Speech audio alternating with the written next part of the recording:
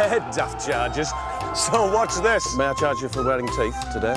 Wearing teeth? You are wearing teeth, aren't you? May I charge you for holding a very long bag? I'm absolutely gobsmacked. We're charging for dogs with pink objects in the mouth. You've got a side parting in your hair. It'd be 50p. Are you looking at that pigeon?